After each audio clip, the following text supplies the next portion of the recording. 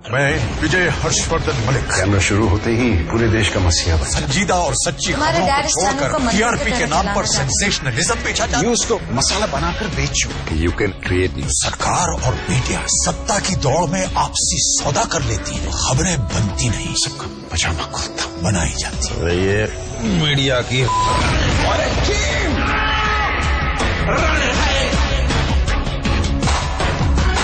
तीस साल से ये रण लड़ रहा हूँ।